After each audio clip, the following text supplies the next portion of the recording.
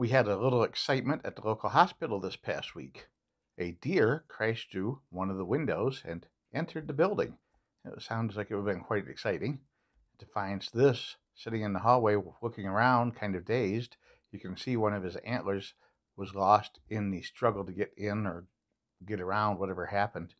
And he was eventually roused up and encouraged to leave out the way he came and head back out into the parking lot, hopefully toward the wooded area.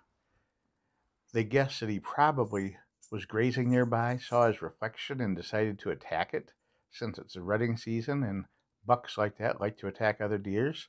I think the area where it happened is back here behind this little outbuilding. If you look back up close here, you can see some mechanical equipment and some stairs and that that kind of resemble what you see out the window in the one photo. But to the west of the hospital, there's a really nice wooded area with a little lake and wetlands. It would be perfect habitat for deer, and I'm sure that's where a bunch of them live. Lots of grazing and bedding down opportunities and shelter, and some nice houses and subdivisions nearby that I'm sure have some very tasty shrubs and flower plants that the deer like to nibble on as well. I know they've liked to nibble on mine in the past. But that was a little story that hit our town. Thanks for watching. Have a great day and bye for now.